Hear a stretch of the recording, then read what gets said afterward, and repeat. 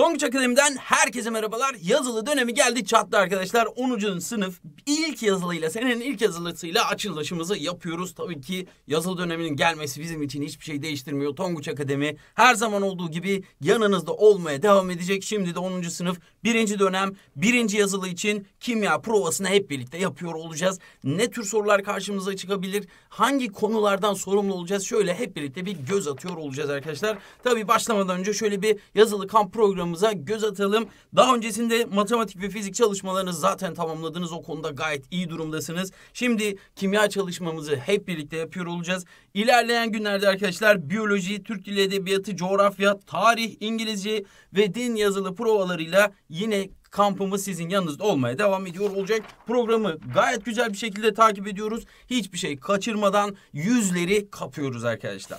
Şimdi neler olacak peki nelerden sorumluyuz? Öğrenci notlarımız cebimizde olması gereken bilgiler neler? Şöyle bir bakalım.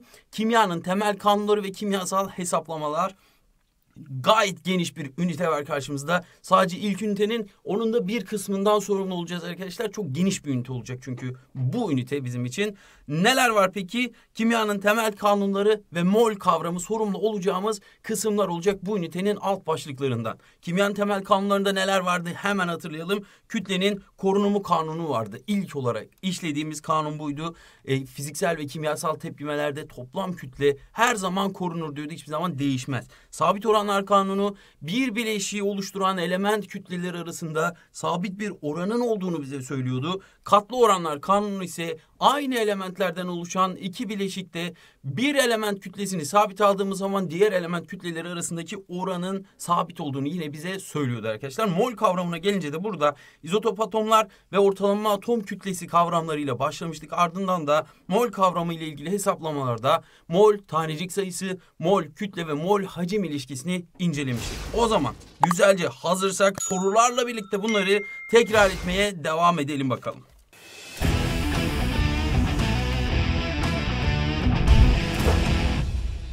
Şimdi ilk sorumuza bakacak olursak arkadaşlar. ilk sorumuz kütlenin korunumu kanunu ile ilgili karşımıza çıkıyor. Buradan ne tür sorular çıkar? Genellikle buradaki sorular arkadaşlar e, grafik soruları olacaktır. Hani çok kolay bir konu çünkü inanılmaz kolay. Dolayısıyla bir tık zorlaştırabilmek için grafik okuma yeteneğimizi de gözden geçiriyor olabilirler. Buradan soru gelir diyelim çünkü bu ünitenin bu kısmın hani ilk konusu buydu ve soru sormalarını da bekliyoruz. En azından bir sorunun içerisinde bir kısmı bu soru oluşturabilir arkadaşlar. Şimdi bunu söylediğimize göre hemen sorumuza dönelim. Sorumuz ne diyor bize? X, Y, Z ve T maddelerinin zamanla değişimini bize grafik vermiş kütle zaman ilişkisi burada bize anlatılıyor. Buna göre X maddesinin başlangıç kütlesini yani şuradaki A değerini bizim hesaplamamızı istiyor. Arkadaşlar kütlenin korunumu kanunu ne demekti? Hemen hatırlayalım. Girenlerin toplam kütlesi ya da daha da doğru bir ifadeyle bir tepkimede harcanan toplam kütle oluşan toplam kütleye eşit olmak zorundaydı. Yani başlangıç kütlesi son durumdaki toplam kütleye eşit olmak zorunda. Şimdi bunu grafikle nasıl bağlandırabiliriz? Nasıl grafik üzerinden okuyabiliriz? Hemen diyeceğiz ki o zaman şu tepkimeyi bir yazalım bakalım. Kimler harcanıyormuş, kimler oluşuyormuş bu tepkimede. Miktarı azalanlar tabii ki harcananlar yani tepkimenin girenlerindeki maddeler olacak. Miktarı artanlar ise ürünlerimiz yani tepkimeden oluşan maddeler olacak. Dolayısıyla hemen bakıyoruz. X ve T harcanan maddeler miktarı azalan maddeler. O zaman onları hemen şöyle girenler kısmına yazalım. Ürünlerde neler var peki? Z'nin ve Y'nin miktarının arttığını görüyoruz. Dolayısıyla Y ve Z ise bu tepkimenin ürünler kısmı olacak. Ne dedik? Girenlerdeki toplam kütle ürünlerdeki toplam kütleye eşit olmak zorunda. O zaman X'ten ne kadar harcanmış bir ona bakalım. X başlangıçta A kadarmış. Son durumda 80 kalmış. Bakın A'yı X'in kütlesi olarak alamayız. Çünkü bizim için önemli olan harcanan toplam kütle olacak. A'dan 80'e kadar düştüğüne göre demek ki X'ten harcanan miktar A eksi 80 kadarmış. Peki T'den ne kadar harcanmış? Bakıyoruz T başlangıçta 30'muş son durumda sıfıra düşmüş. Yani tamamen tükenmiş. Dolayısıyla T'den harcanan kütle 30 grammış. Bunu da yerine yazdık. Y'den bu defa ürünlerden bahsettiğimize göre oluşan madde miktarına bakmamız lazım. Sonra ne diyor bize? Y başlangıçta 30'muş son durumda 80 grama çıkmış. Arkadaşlar buraya 80 ya da 30 yazamayız. Ne diyeceğiz? Arada oluşan madde miktarını yazmamız gerekiyor. Dolayısıyla bu aradaki fark kadar oluşan Y var. Dolayısıyla 80 eksi 30'dan hemen 50 yazıp geçebiliriz. Z'ye gelecek olursak Z'den ne kadar oluşuyor? Başlangıçta sıfırmış. Elimizde hiç yokmuş. Son durumda 30 gram varmış. Dolayısıyla 30 gramlık bir Z oluşumu söz konusu. Ne dedik? Harcanan toplam kütle oluşan toplam kütleye eşit olmak zorunda. Yani bu ikisinin toplamı bu ikisinin toplamına eşit olmak zorunda. Hemen şöyle 30'ları karşılıklı götürüp buradan kurtulabiliriz zaten sayısal işlem olarak. A eksi 80'in karşı tarafı artı 80 olarak attığımız zaman 80 artı 50'den 130 olarak buluruz. Demek ki A değeri grafikte yer alan A değeri 130 grammış ya da tepkimenin başlangıcında 130 gram A maddesi ortamda varmış. Hemen geçiyoruz ikinci sorumuza. Demiş ki bize X, Y 3 bileşiğinin kütlece 1 bölü 5'i Y elementinden oluşmaktadır. Arkadaşlar bakın bu tarz sorularda şuna çok dikkat etmemiz gerekiyor. Bize başlangıçta verdiği bileşikle sonradan bizden istediği bileşiğin formülü aynı mı yoksa farklı mı? Dolayısıyla buna göre çözüm yöntemimiz de aslında birazcık farklılaşacak. Şimdi bakıyoruz başlangıçta XY3 bileşiğini vermiş bize ama sonuç olarak bizden istediği maddeler işte birinde XY2 maddesini istiyor. Diğerinde X2Y5 maddesini istiyor. Yani burada katlı oranlar kanunu kullanmamız gerekiyor. Arkadaşlar burası şöyle söyleyebilirim yüzde yüz kaçarı yok bu tarz bir soru karşımıza gelecek. Sayılarda değişiklik olur, oranda değişiklik olur ama illaki başlangıçta bir bileşik verip buna ait bir oran verip ardından aynı elementlerden oluşan farklı bileşik yapılarındaki oranlar bize kesinlikle sorulacaktır. Peki nasıl bir yöntem izleyeceğiz burada? Öncelikle arkadaşlar X, Y 3 bileşiğiyle ilgili durumu bize vermiş, oranı vermiş. Bizim yapmamız gereken şu. Şimdi X, Y 3 bileşiğinin kütlece 1 bölü 5'ini Y oluşturuyorsa X'i ve Y'yi ayrı ayrı değerlendirecek olursak bize demiş ki bu bileşiğin 1 bölü 5'i Y'dir.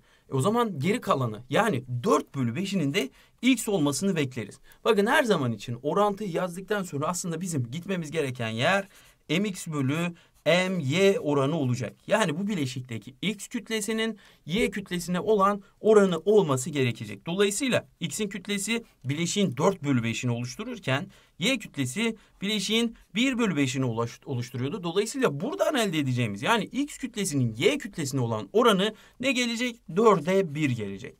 Şimdi bu x, y, 3 bileşiği için geçerli. Şimdi bunu cebimize koyduktan sonra diyeceğiz ki bizim atom kütleleriyle ilgili yorum yapmamız lazım. Eğer soruda gene X, Y, 3 bileşiğiyle ilgili olsaydı bizim karşımıza çıkan sorular burada yapmamız gereken bu orandan işlemleri devam ettirmekti. 4'e 1 deyip işte bunlardan 5 gram bileşik oluşur deyip işlemi devam ettirecektik. Ama X, Y 2 bileşiğini sorduğu için yani aynı elementlerden oluşan farklı bir bileşiği sorduğu için bizim atom kütleleri arasındaki orana ihtiyacımız var. Peki bunu nasıl buluruz? Atom kütleleri arasındaki oran nasıl ortaya çıkar? Diyeceğiz ki burada şimdi bileşiğimizin formülü XY3.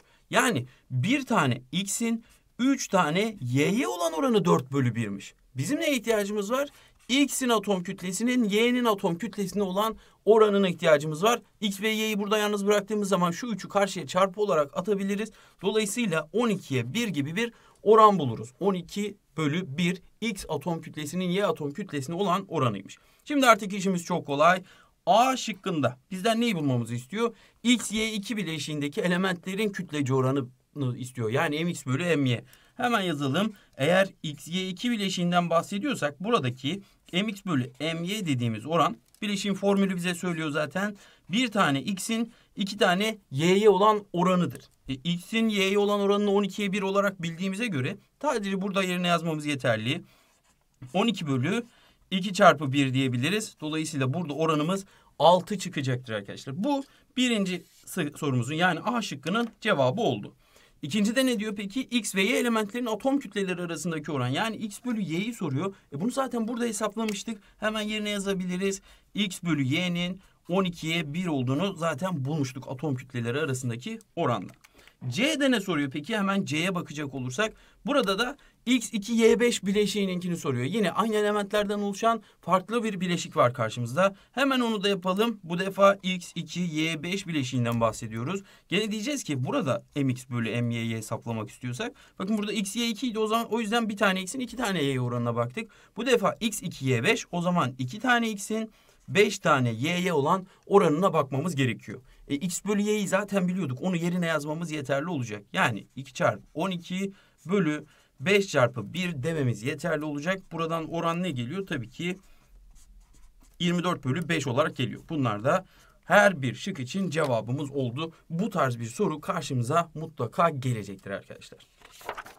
Bir diğer soru tipini değerlendirecek olursak. Burada da demiş ki X2 Y3 bileşiğinin kütlece %20'sini X elementi oluşmaktadır. Buna göre 40'ar gram X ve Y elementleri kullanılarak en fazla kaç gram X2 Y3 oluşur? Bakın şuna dikkat ediyoruz arkadaşlar. Başlangıçta X2 Y3 verdi. Burada gene X2 Y3 ile ilgili yorum yapmamızı istiyor. B şıkkında da X, Y bileşiği ile ilgili yorum yapmamızı istiyor. Dolayısıyla farklı farklı değerlendireceğiz bu iki soruyu. İlk soru için X2Y3 bileşiğinin kütlece %20'sini X elementi oluşturuyorsa yapacağımız nedir? Eğer burada X %20'sini oluşturuyorsa Y ne kadarını oluşturacaktır? Geriye kalan %80'ini oluşturacakdır bu bileşiğin. O zaman hemen şunu söyleyebiliriz. MX bölü MY değeri. Eğer X2Y3 bileşiğinden bahsediyorsak hala daha. Neye eşit olacak? 20x'e böl 80y'nin oranı olacak. Dolayısıyla bu oranı biz 1 bölü 4 olarak hesaplayabiliriz. Hemen A şıkkını cevaplanmaya devam edebiliriz buradan yola çıkarak. Bize diyor ki x ve elementleri kullanılarak en fazla elde edebileceğimiz bileşiğin kütlesi ne olur? Şimdi şu oran bize neyi anlatıyor? Diyor ki mx, my kullanarak eğer mx2y3 elde etmeye çalışıyorsam her 1 gram x'e karşılık 4 gram y kullanarak toplamları olan 5 gram bileşiği elde etme şansına sahipsin. Bu orandan bunu çıkardık. Bizden başlangıç koşulları olarak farklı değerler vermiş ama hemen başlangıç koşullarını bir değerlendirelim. Demiş ki ikisinden de 40'ar gram kullanırsak. Arkadaşlar şöyle düşünmemiz gerekiyor. İkisinden de 40'ar gram aldığımız zaman bunlardan en azından birisi bitecek diğerinden artan madde kalabilir. Hangisi bitebilir? Değişim diyelim, değişim koşullarını buna göre değerlendirelim. Şimdi x'in bittiği durumu düşünecek olursak yani x'ten 40 gram kullanacak olursak oran 1'e 4 olduğu için bizim 160 gram y'ye ihtiyacımız olur. Oysa ki elimizde sadece 40 gram y var. Dolayısıyla biten madde x olamaz. Biten madde hangisi olacak? Tabii ki y maddesi olacak. O zaman değişim değerinde diyeceğiz ki biz 40 gram y kullanacağız böyle bir de tepkimede. E buna göre kaç gram x kullanırım? Şimdi 4'e 40 kullanıyorsak 10 katı kullanıyorsak 1'e bunun 10 katı kadar yani 10 gram kullanırım. E buna karşılık olarak bileşikten ne kadar oluşur? 10 bundan harcandı, 40 bundan harcandı. Toplamı kadar yani 50 gram bileşik oluşur veya aynı değeri şuradan da elde edebiliriz. 1'in 10 katı 10, 4'ün 10 katı 40. O zaman 5'in 10 katı 50 gram bileşik elde ederiz. Yani aslında A şıkkı için cevabımız burada. Onu bulduk. Peki geriye kalan kütle ne oldu? Çünkü toplamda başlangıçta 80 gram kullanmıştık. Bunun sadece 50 gramı bileşik olarak oluştu. Demek ki son durumda şu madde biterken bakın 40 gram vardı. Sadece 10'unu kullandık. 30 gram artan madde olarak kapta kaldı. X gramın X maddenisinin 30 gramı artan madde olarak kaldı diyeceğiz. Geçelim şimdi B'den bahsetmeye. Bakın bu yöntemi ne zaman kullandık? Bize X2, Y3'ü verdi. Gene X2, Y3 ile ilgili soru sordu. Bu defa B şıkkında X2, Y3 ile ilgili bilgi verdi bize ama X, Y bileşiği ile ilgili yorum yapmamızı istiyor. Bu durumda şunu yapacağız arkadaşlar. Diyeceğiz ki şuradaki hani MX bölü MY değerini 1 bölü 4 olarak bulmuştuk ya 2X, Y3 bileşiği için. X2, Y3 bileşiği için. Burada iki tane X'in 3 tane y'ye olan oranı aslında 1 bölü 4'tür. Dolayısıyla bizim yalnız bırakacağımız şey x bölü y oranı olacak. Yani x'in atom kütlesinin y'nin atom kütlesine olan oranını bulmamız gerekecek. 3'ü buraya, 2 buraya aldığımız zaman x bölü y'yi yalnız bırakmış olacağız. Dolayısıyla bu oranı 3 bölü 8 olarak hesaplamış olacağız. Şimdi bizden istediği bileşik zaten x, y bileşiği olduğu için artık bizim bu bileşik için, x, y bileşiği için mx bölü my değerimiz 3 bölü 8'miş. Şimdi artık sorunun devamını kolaylıkla getirebiliriz. Burada yaptığımız işlemleri burada da uygulayabiliriz. Ne diyor bize? Eşit kütlede x ve y elementleri kullanılarak 55 gram x, y bileşiği elde edildiğine göre. Hemen yine analizimizi yapalım. Eğer bize verilen şu duruma göre, orana göre bir tablo oluşturacak olursak. m, x, y diyecek olursak. Her 3 gram x'e karşılık 8 gram y girip toplamda 11 gram ikisinin toplamı kadar bileşik oluşturma şansına sahip oluyormuşuz. Şimdi bize diyor ki eğer bundan 55 gram oluşursa yani bunun 5 katı kadar bileşik oluşturursam hangisinden ne kadar harcamam gerekir? E, 8'in 5 katı kadar yani 40 gram Y'den harcamam gerekiyor. Buna karşılık 3'ün 5 katı kadar yani 15 gram X harcamam gerekiyor. Yani şöyle diyebiliriz 55 gram X Y bileşiğin içerisinde 40 gram Y 15 gram da X vardır. Şimdi soru ne diyor bize peki? Başlangıçta ikisinden de eşit kütlede alırsam. Eşit kütlede almam ne demek oluyor? Bakın burada düşündüğümüz şeyi gene düşüneceğiz. Bu ikisinden birisi bitmiş olması gerekiyor. Yani başlangıçta eğer ikisinden de 15 gram alırsam Y'den zaten 40 gram harcayamazdım. Dolayısıyla ne kadar almam gerekiyor? Hangisinin kütlesi büyükse onun kütlesinde almam gerekiyor her iki elementten de. Dolayısıyla ikisinden de başlangıçta 40'ar gram almışım. Değişim koşulları olarak bundan 15 gram, bundan 40 gram harcamış ve buna karşılık 55 gram bileşik oluşmuş. Dolayısıyla hangisi bitti? Bakın 40 gram vardı başlangıçta 40'ını da harcadım. Y bitti. X'e geldiğim zaman başlangıçta 40 vardı eşit kütlede alındığını söylediği için bunun 15 gramı harcandığına göre geri kalan 25 gramı artan madde olarak kaldı. Dolayısıyla 25 gram X artan maddedir diyebiliriz. Bu da yine çıkma ihtimali oldukça yüksek bir soru tipidir diyebiliriz. Geçelim hemen bir diğer sorumuza yine e, kimyanın temel kanunları ile ilgili bir soru var karşımızda. Burada arkadaşlar tabii ki soru bizden cevabı istiyorsa azot ve oksijenin atom kütlelerini de vermesi gerekiyor böyle bir durumda. Azotun 14, oksijenin ise 16 atom kütlesine sahip olduğunu soru bize söyledi.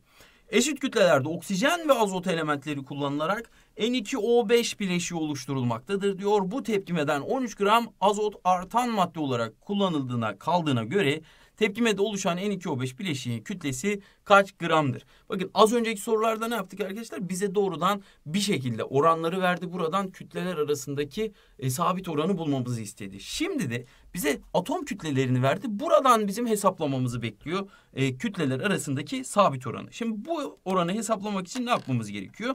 Bileşin yapısına bakmamız gerekiyor. İki tane azot, beş tane oksijen var. Dolayısıyla bu bileşikte mx bölü my değerini hesaplayacak olursak yani daha doğrusu MN bölü MO oranını hesaplayacağız bu defa. Azot ve oksijenden oluşan bir bileşik olduğuna göre. Azotun kütlesi 14 her bir azot molekül atomunun kütlesinden bahsediyoruz ve bileşik yapısında iki tane azot var. Dolayısıyla 2 çarpı 14 buradan gelecek. 5 tane oksijen var ve her birinin kütlesi de 16 olarak bize verilmiş. Dolayısıyla oranımız ne geldi? 28 bölü 80. Bunu 4 ile sadeleştirecek olursak, en sade haliyle yazacak olursak 7 bölü 20 gibi bir orana ulaşacağız. Bu ne demek oluyor? Şimdi az önceki tabloyu gene oluşturacak olursak. Azot ve oksijen birleşerek N2O5 bileşiğini oluştururken azottan harcanan her 7 gram maddeye karşılık oksijenden 20 gram madde harcanacaktır. Buna karşılık oluşan N2O5 bileşiğinin kütlesi tabii ki bu ikisinin toplamı kadar yani 27 gram olacaktır. Soru bize ne diyor peki?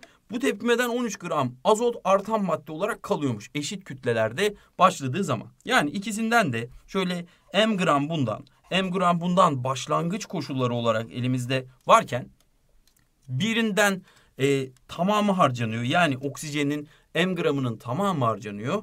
Azottan başka bir miktar harcanıyor ve buna karşılık olarak az, oksijen biterken azottan 13 gram maddenin arttığını görüyoruz. E tabii ki e, böyle bir durumda e, oluşabilecek maddenin toplam kütlesini bulmamızı istiyor. Şimdi eşit kütlede aldığımız zaman buradan 13 gram artan olabilmesi için koşul nedir? Demek ki başlangıçta ikisinden de 20'şer gram almışım ki buradan 20 gramın tamamı harcanmış ama buna karşılık olarak azottan sadece 7 gram harcanmış ve böylece 13 gram artan madde olarak elimizde kalmış.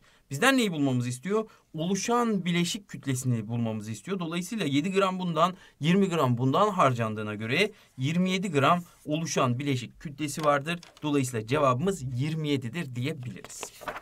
Bir diğer soru tipine bakacak olursak eşit kütlede X ve elementi kullanılarak 23 gram XY2 bileşiği elde edilirken 9 gram X elementi artmaktadır. Buradan yine arkadaşlar tabii ki hocasından hocasına değişir ama sormasını bekleriz tabii ki. Böyle bir soru tipi çıkabilir karşımıza. Az önce çözdüğüm soruları aslında nitelik olarak benzer bir sorudur diyebiliriz. Ne var şuna dikkat etmemiz gerekiyor. Başlangıçta bize verdiği bileşik x2 bileşiği son durumda bizden yorum yapmamızı istediği bileşik x2 y5 bileşiği.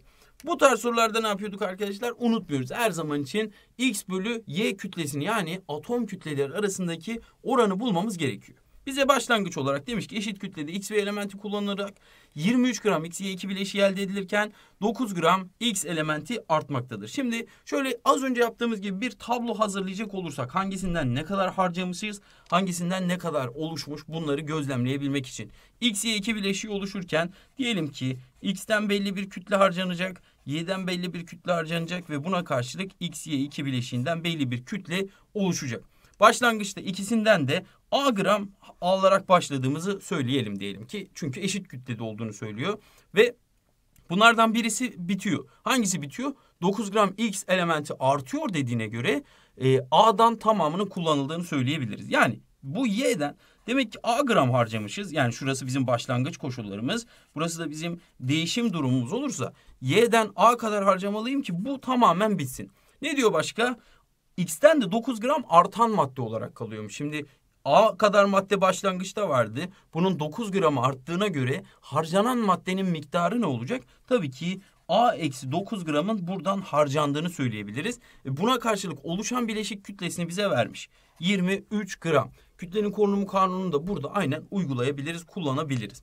Dolayısıyla A eksi 9 bundan harcanan madde var. A da bundan harcanan madde var. 23 burada oluşmuş. O zaman diyeceğiz ki A eksi 9 ile A'yı toplayacak olursak yani harcanan maddelerin toplam kütlesini alacak olursak oluşan maddelerin toplam kütlesine ulaşmış oluruz. Yani 23'e ulaşmış oluruz.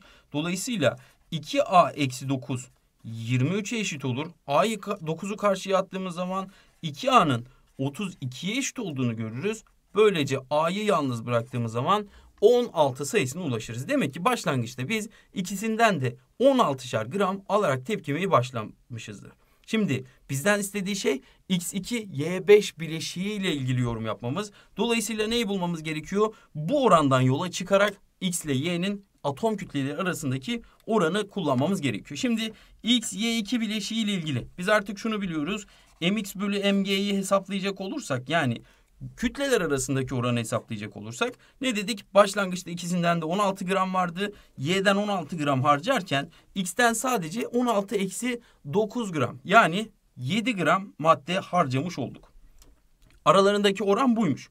O zaman bileşik X'ye 2 bileşiği olduğuna göre bir tane X'in iki tane Y'ye olan oranı aslında 7 bölü 16'ymış. O zaman x bölü y oranı yani atom kütleleri arasındaki oranı kolaylıkla hesaplayabiliriz. 7 bölü 8'miş. Bakın bu bizim ulaşmamız gereken temel noktalardan birisi. Bunu bulduktan sonra istediği yorumu kendisine verebiliriz. Sorudan istediğini e, cevaplayabiliriz.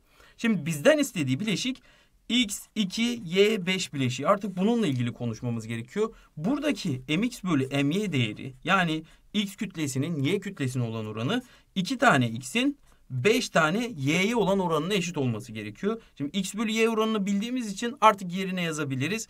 2 çarpı 7 bölü 5 çarpı 8 bizim burada bulacağımız oran olacak. Dolayısıyla 7 bölü 20 buradaki en sade haliyle hesaplayacağımız değer olacak. Artık şu tabloyu bunun için çizebiliriz. Şurada hesaplayalım hemen. Diyeceğiz ki arkadaşlar x2 y5 bileşiğinden bahsederken mx ve my kütleleri harcanıp ortaya mx2y5 bileşiği çıkarken 7 gram bundan 20 gram bundan harcanır. Buna karşılık 27 gram bileşik elde edilir. O zaman başlangıçta ikisinden de 20'şer gram alacak olursak bundan da 20 gram, bundan da 20 gram alacağım ama X'ten artan madde kalacak. 13 gramlık artan madde kalacak ve elde edeceğim bileşik 27 gram olacaktır. Cevabımız tabii ki buradan 27'dir diyeceğiz arkadaşlar. Çünkü Y'den 20 gramı harcadığım anda X'ten sadece 7 gram harcamam yeterli olacak. X'ten aldığım bu 20 gramın bir anlamı olmayacak. Onun 13 gramı artan madde olarak kalacak diyelim. Geçelim bir grafik sorusuna arkadaşlar. Bu soru yine yüzde yüz karşımıza gelecek soru tiplerinden birisidir diyebilirim. Kaynaklarda da soru çözdükçe karşınıza sürekli çıkıyordur. katlı oranlar ilgili çok klasik bir soru tipidir arkadaşlar. Ne diyor peki soru bize? X ve Y elementlerinden oluşan iki bileşiğin birleşen X ve Y kütlelerini veren grafik yandaki gibiymiş. Bir bileşiğin formülü X, Y olduğuna göre ikinci bileşiğin formülünü bulunuz diye sormuş. Arkadaşlar tablolarda, grafiklerde şuna çok dikkat etmemiz gerekiyor. Genellikle yamulduğumuz nokta bu. Bizi X kütlesi ile Y kütlesi arasındaki oranı vermiş burada mesela. Bazı sorularda buraya x verir, buraya bileşik kütlesi der. Bazılarında işte buraya y der, buraya bileşik kütlesi der. Bunlara çok dikkat etmemiz gerekiyor. Burada işimizi en kolaylaştıracak şey bir tablo oluşturmak olabilir. Şimdi birinci ve ikinci bileşikleri ayrı ayrı değerlendirecek olursak her ikisi de X ve Y bile elementlerinden oluşuyor. Her ikisi de bu şekilde birbiriyle bir katlı orana sahip olan bileşiktir diyebiliriz. Birinci bileşik için ne demiş bize? Her 3 gram Y'ye karşılık 6 gram X tepkimeye giriyormuş. O zaman hemen yere yazal yerine yazalım. X'in kütlesi 6 iken Y'nin kütlesi 3 oluyormuş.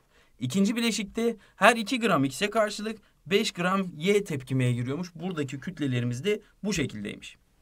Şimdi iki yöntemle bu soruyu çözebiliriz arkadaşlar. Birinci yöntem diyelim. Hemen şöyle karşımıza alalım.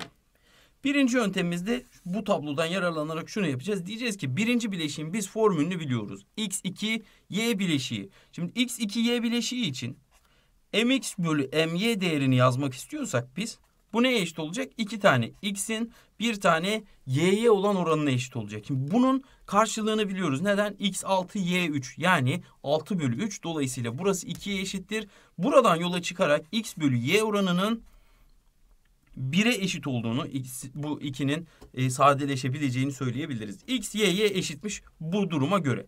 Buna göre diğer bileşiğin formülünü bulmamızı istiyor. Diğer bileşiğin formülünün de x, a, y, b bileşiği olduğunu varsayacak olursak burada mx bölü my değeri a tane x'in b tane y'ye olan oranıdır diyeceğiz. E bu oranın karşılığını biliyoruz biz ve x bölü y oranını biliyoruz. x bölü y oranı 1 olduğuna göre bu doğrudan a bölü b'ye eşittir. Ve a bölü b 2 bölü 5'e eşittir. Hemen burada tablodan çıkarıp yazabiliriz. E, a'yı 2 b'yi 5 olarak aldığımız zaman demek ki x a y b bileşiği x2 Y5 bileşiğiymiş formülümüz bu şekildeymiş. Bakın bu birinci yöntem olarak oldukça kolay bir şekilde çözebiliriz. İkinci yöntem olarak gene tabloya gidelim. Tablodan katlı oranı bulalım arkadaşlar. Katlı oranı bulduğumuz zaman aslında bileşiklerle ilgili de kolaylıkla yorum yapabiliriz. Katlı oranı bulmak için en kolayından şöyle yapalım. Bunun ikisini de 3 ile sadeleştirelim ki e, oranı daha basit bir şekilde bulabilelim. Yani burası 2'ye 1 olarak karşımıza çıkacak. Şimdi bakın x kütleleri birbirine eşitken y kütleleri arasındaki oran 1 bölü 5'miş. Yani katlı oranımız burada y1 bölü y2 katlı oranı ne eşit olacakmış? 1 bölü 5'e eşit olacakmış. X kütleleri birbirine eşitken. Şimdi kütleler arasındaki bu oranı 1 bölü 5 olarak buluyorsak formüller arasındaki oranın da 1 bölü 5 olması gerekiyor. Birinci bileşiğimizin formülü x2y. İkinci bileşiğin formülünün de x bileşiği olduğunu varsayalım gene. Şimdi burada x'leri birbirine eşitlemek için ne yapmamız gerekiyor ki y'ler arasındaki katlı oranı hesaplayabilelim. Burayı a ile burayı da 2 ile genişlettiğimiz zaman bu x 2 a y bileşiğine dönüşür. Bunu da 2 ile genişlettiğimiz zaman x 2 a y 2 b bileşiğine dönüşür. X'ler birbirine eşitlendi. Artık y'ler arasındaki oranı şurada bulduğumuz katlı oranı eşitleyebiliriz. Dolayısıyla a bölü 2b oranı 1 bölü 5'e eşit olacak.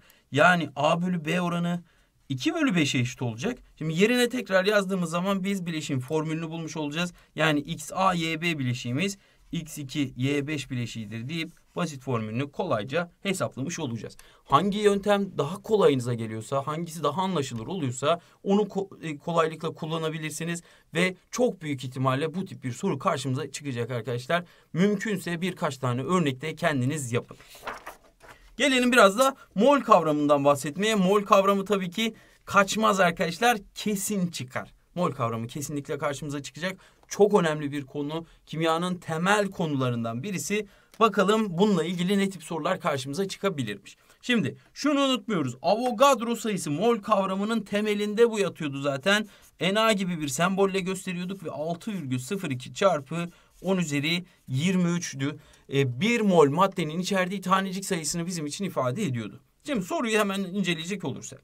1,204 çarpı 10 üzeri 23 tane Y atomu içeren X3Y2 bileşiği ile ilgili ifadelerinden hangileri kesinlikle doğrudur demiş. Arkadaşlar neye bakacağız biz böyle bir durumda? 1,204 çarpı 10 üzeri 23'ün bir mol karşılığını bulalım. Oradan yorumlamamızı yaparız diyelim. Şimdi 1 molün 6,02 çarpı 10 üzeri 23 olduğunu artık ezberden hepimiz biliyoruz zaten. Şimdi bizden istediğine peki 1,204 çarpı 10 üzeri 23 tane taneciğin mol sayısı bununla ilgili yorumlamalarımızı yapmamızı bekliyor. Dolayısıyla buradan sadece 1,204 e, çarpı 10 üzeri 23'ün 6,02 çarpı 10 üzeri 23'ün 5'te biri olduğunu bildiğimiz için 0.2 mole denk geldiğini rahatlıkla söyleyebiliriz. Buna göre e, bu içerdiği neymiş? Y'nin mol sayısıymış ama şuna dikkat edeceğiz arkadaşlar. Eğer Y'den 0.2 mol içeriyorsa bu X'ten 0.3 mol içerdiği anlamına gelir. Bileşiğin kendi mol sayısının da 0.1 mol olduğu anlamına gelir. Çünkü her bir molekülde iki taneye 3 tane X atomu var. Ya da her bir mol molekülde 2 mol Y, 3 mol X atomu var. Buna göre eğer 0.2 mol Y içeriyorsa bu kendisinin 0.1 mol olduğu anlamına gelir. Dolayısıyla da 0.3 mol X atomu içerdiği anlamına gelir. Dolayısıyla birinci öncülümüz doğru mu? X'in 0.3 mol olduğunu söylemiştik. Dolayısıyla doğru. Normal şartlar altında gaz halde ise 2.24 litre hacim kaplar diyor. Şimdi şöyle bir bilgiye sahibiz. 1 mol gaz normal şartlar altında türü ne olursa olsun 22,4 litre hacim kaplıyordu. Peki bizim bahsettiğimiz gaz yani X3Y2 bileşiği 0.1 moldü. Dolayısıyla bunun hacmi kaçtır diye kolaylıkla hesaplayabiliriz. Onda biri olduğuna göre 22,4'ün onda biri olması gerekiyor. Yani 2,24 litre hacim kaplayacak. Eğer ki normal şartlar altında gaz haldeyse. Dolayısıyla bu da kesin doğru.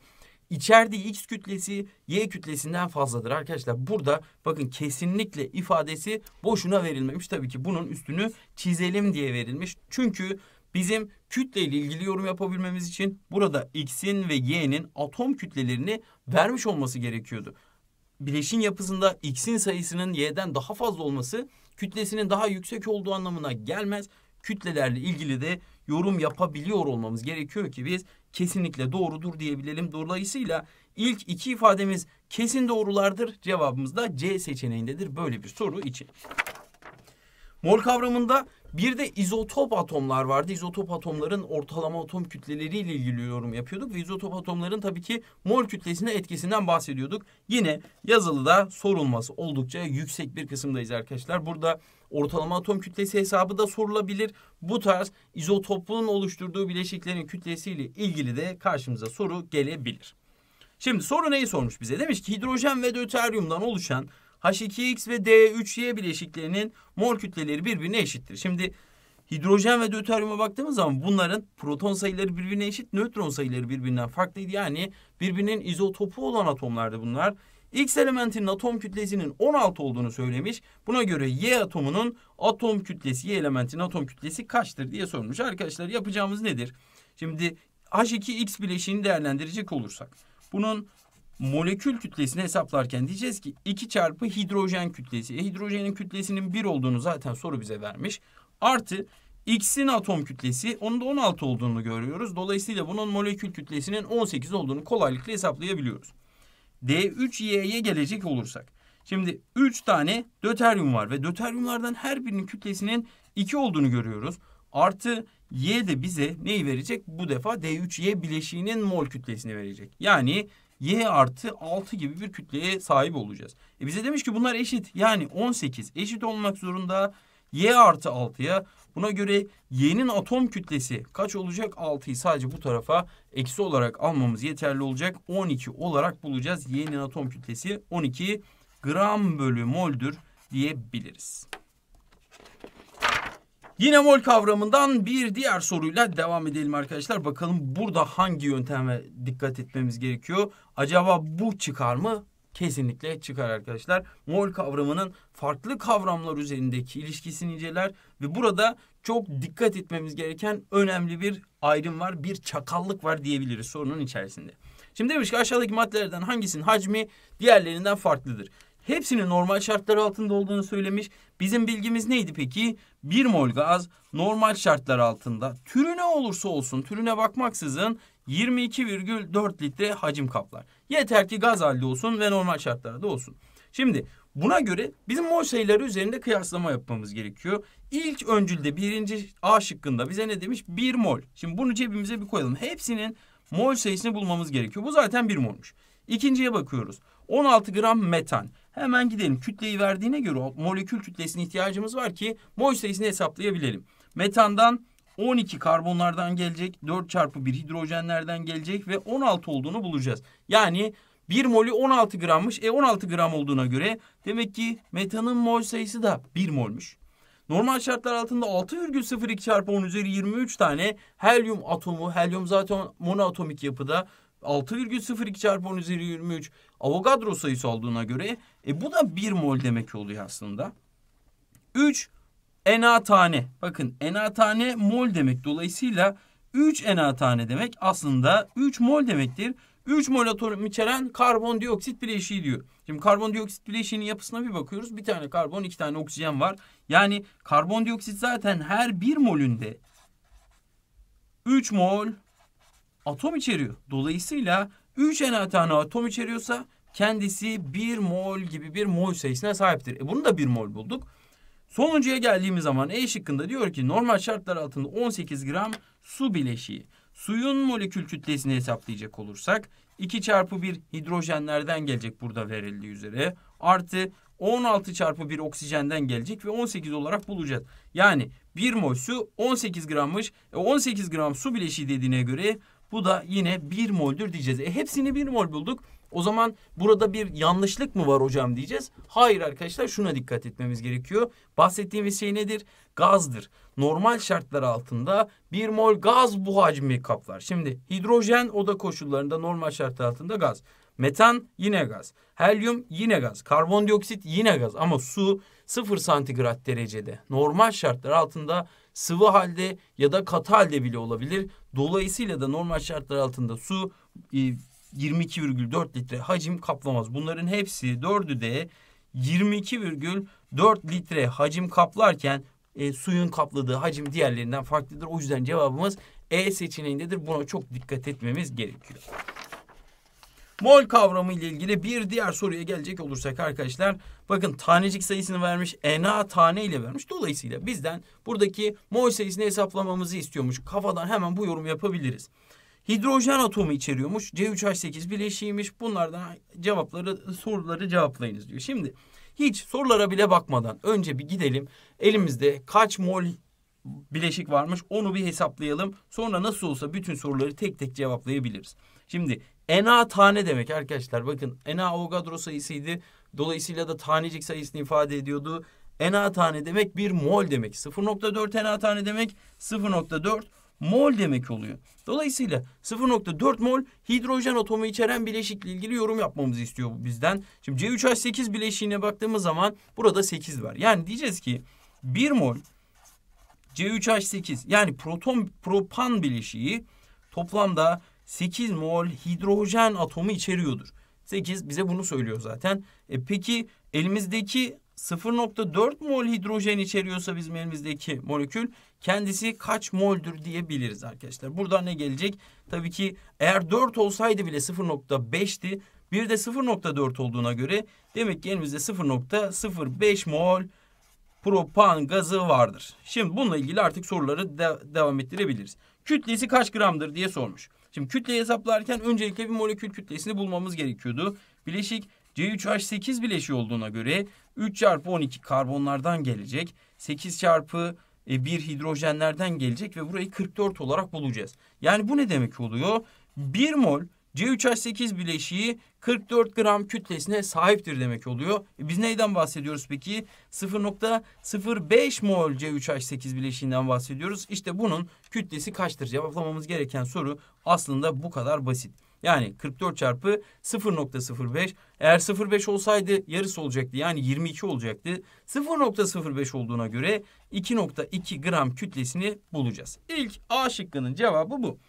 Kaç gram karbon içerir diyor arkadaşlar hemen şunu söyleyebiliriz. bileşiğin kendisi 0.05 molse ve her bir molekülünde her bir molde 3 mol karbon içeriyorsa bunun 3 katı kadar karbon içermesi gerekir. Dolayısıyla da karbonun mol sayısı arkadaşlar şöyle değerlendirebiliriz. C3H8'in kendisi 0.05 mol ise içerdiği karbon 3 çarpı 0.05'ten 0.15'tir. İçerdiği hidrojen tıpkı sorunun en başta bize verdiği gibi 0.05 çarpı 4'ten 0.8'den 0.4 moldür diyebiliriz. O zaman karbonun mol sayısı 0.15. E, 1 mol karbonun 12 gram olduğunu biliyoruz. Yani diyeceğiz ki eğer 1 mol 12 gramsa tabii ki karbondan bahsediyoruz burada. 0.15 molü kaç gramdır? Eğer 1,5 olsaydı bunun bir buçuk katını alacaktık. Yani 18 gramdır diyecektik. Ancak 1 virgül kaydırıldığına göre yapmamız gereken burada kütlede de kaydırmak olacak. Yani 1.8 gramdır diyeceğiz. O zaman bakın arkadaşlar deriz ki 2.2 gram bileşiğin 1.8 gramı karbondur. O zaman geriye kalan 0.4 gramı da hidrojendir. Normal şartlar altında kaç litre hacim kaplar diyor. Hemen yapacağımız hesap neydi? Diyoruz ki arkadaşlar 1 mol gaz türü ne olursa olsun eğer normal şartlar altındaysa 22,4 litre hacim kaplıyordu. Bunu ezberden biliyoruz zaten. Bizim elimizde kaç mol madde var, kaç mol molekül var? 0.05 mol var. O zaman bunun kapladığı hacim nedir? Cevaplamamız gereken soru bu. Dolayısıyla eğer bak bu 0.5 olsaydı e, bunun yarısını alacaktık. Yani 11,2 olacaktı. 0.05 olduğuna göre bir virgül daha kaydıracağız. Yani 1,12 litre gibi bir hacim kaplamış olacak arkadaşlar. Bileşiğimiz e, yorumumuzu bu şekilde yapacağız. O zaman güzelce sorularımızı çözdük. Artık yazılıya bomba gibi hazırız demeden önce tabii ki ödevlendirmemizi yapalım ki tam anlamıyla hazır olalım. Sıfırdan ona kimya kitabı aslında birçoğunuz çözdünüz. Şöyle tekrar edelim e, çözülmedik yer bırakmayalım arkadaşlar. Kimyanın temel kanunları ve mol kavramı yani 12'den 34'e kadar çözülmemiş hiçbir yer bırakmamamız gerekiyor. Neler vardı burada arkadaşlar? Her sayfada konu anlatımı var ve sonrasında anlattığı konuyla ilgili soru çözümleri yapıyor olacak bize kitabımız. Bu şekilde konuları tamamladıktan sonra da tarama testleri tabii ki bizi bekliyor olacak. Ardından mol kavramı, izotop atomlar her bir konuyla ilgili, her bir başlıkla ilgili konu anlatımı ve soru çözümü sayfaları bizi bekliyor. Ardından da tabii ki e, tarama testleriyle bizi iyice destekliyor. Sınava hazırlamaya çalışıyor. Tabii ki bu bitince mevzu kapanmıyor. Hala da eksiklerimiz olabilir. Onları tamamlamak için de 10. sınıf Dinamo Kimya kitabını karşımıza alıyoruz. Burada yine 13. sayfadan 37. sayfaya kadar çözülmemiş yer bırakmamamız gerekiyor. Sorumlu olduğumuz noktalar buralar olacak arkadaşlar. Burada da her bir sayfada bir Çözümlü örnek bizim karşımızda olacak. Çözümlü örnekle ilgili tam burada sorulan soru tipinde dört tane soru da aşağıda bizi bekliyor olacak. Bu şekilde her sayfada yeni kazanımlar, yeni soru tipleri karşımıza çıkacak. Bize bunları kazandıracak ve konular tamamlandıkça da yine tarama testleri bizi bekliyor olacak. Bunlar sayesinde de iyice güzelce yazılarımıza hazırlanmış olacağız arkadaşlar. Bu ödevi de tamamladığımız zaman gidip gönül rahatlığıyla yüzü alıp gelebiliriz. Diyelim ki takıldığımız herhangi bir soru oldu. Gözümüzden kaçan herhangi bir nokta oldu. Hemen Karekoda gidiyoruz. Burada yardımcımız var. Video çözümüyle bütün eksiklerimizi gideriyoruz. O zaman arkadaşlar ödevlerimizi de alıp her halükarda hazırlandığımıza göre tabii ki ödüllü sorumuzu cevaplandırıyoruz ve yorumlarda paylaşmayı ihmal etmiyoruz. Hepinize sağlıklı günler, başarılı sınavlar diliyorum. Tekrar görüşmek üzere.